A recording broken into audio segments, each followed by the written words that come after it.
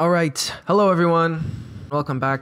I'm just doing a quick little tutorial video on Zoho TXT records because I had an issue with my Shopify store the other day and this took way too long to figure out. So I'm just to make this quick little video so I can save you guys a lot of time that I wasted. So the issue is when you are adding a TXT record for verification from your Zoho mail to your Shopify store. So it kind of looks like this right? When you are in your Zoho account, you have your TXT records, SPF records, and your DKIM record. So the issue for me is that when I followed these instructions to add the custom TXT file, I couldn't put it into Shopify. It was too long. It was it was saying like it was too long. I think it, it was like max is like 250 or 250 characters. And this drove me crazy because it's very simple. You literally just copy and paste like this information into your Shopify and the copy and pasted information into your Shopify is too long. So it's like, what the, what the heck am I supposed to do now? So this is very simple. So all you got to do is when it comes to TXT records, there's two types. There's one that is 1000 characters long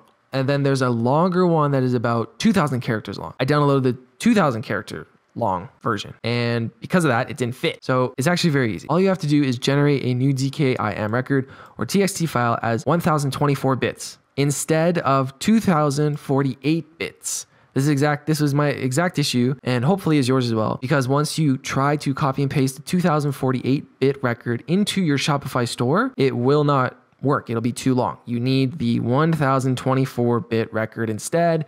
And once you do that, you can input it correctly, it accepts it fully. In fact, I was talking to Zoho support and they said, one agent said, if I'm continuing to having an issue with this, they can help me generate the correct size one. But I didn't need that. I don't know if that's even true. But long story short, to add your TXT field for your Zoho Mail integration, just get the 124, 1024 bit record as this fits and the 2048 bit record does not fit. That's all you got to do. So that took way way too long for me to figure out. We got other things we got to worry about. So hopefully this quick little three minute video, two minute video helps you get right back to business. If this has helped you in any way, leave a like, subscribe for more Shopify e-commerce help, and I'll see you in the next video.